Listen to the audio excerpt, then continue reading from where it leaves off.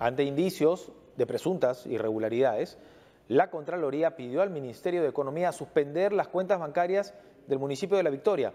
El ente fiscalizador informó que la medida no afectará el pago al personal y se mantendrá hasta que se garantice el uso adecuado del erario nacional. Veamos se veía venir ante las constantes denuncias contra la administración del alcalde Elías Cuba. La Contraloría General de la República decidió solicitar al Ministerio de Economía y Finanzas congelar las cuentas bancarias de la Municipalidad de La Victoria ante indicios de malos manejos en esa comuna que pondrían en riesgo la correcta captación, uso y destino de los recursos públicos.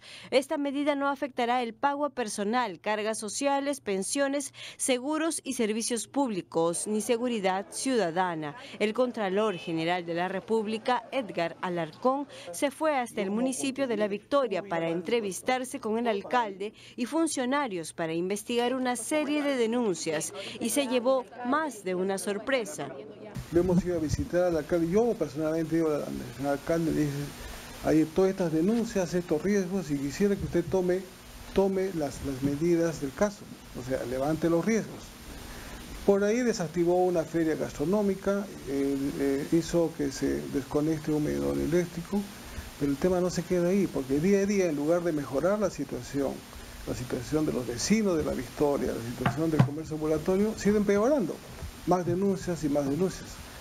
Es más, hemos ido a cruzar la, la recaudación de los ingresos que debería estar pues bollante, entonces hay problemas en el registro de los ingresos.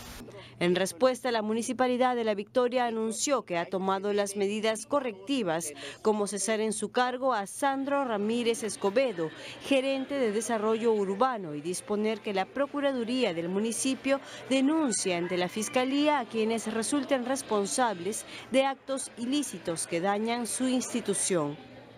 En un comunicado señala que hay transparencia total en la actual gestión y abre las puertas a la Contraloría. El Contralor señaló que lo mismo se hará en otros municipios capitalinos que están siendo investigados por denuncias de malos manejos.